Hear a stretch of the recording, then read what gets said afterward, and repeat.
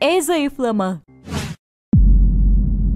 Sıfır beden takıntısı e, özellikle m, son e, modernite çağıyla bir- birlikte oluşmaya başlayan bir takıntı haline döndü. E, Hatta literatüre de sınırlı beslenme takıntısı olarak girmeye başladı. Buradaki sıfır beden takıntısı bedenin dışarıya karşı olan imajında nasıl göründüğünüzle ilgili algılarınızın e, çok sıklıkla sizi meşgul ediyor olması.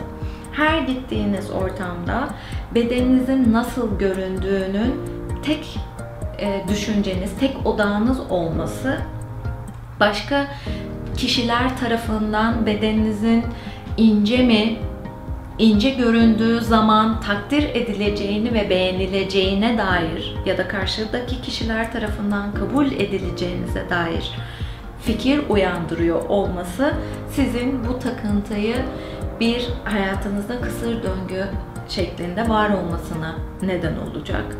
Ve devamlı e, tüm zihniniz ve tüm e, çabanız bedeninizin nasıl göründüğü ve bedeninizin ince olmasına dair e, kendinize aşırı zorlamalar yaparak e, kısıtlayıcı diyetlere girerek e, zorladığınız ve aslında duygusal dünyanızın da çok daha dayanıksız hale geldiği bir takıntı şekline dönüşüyor.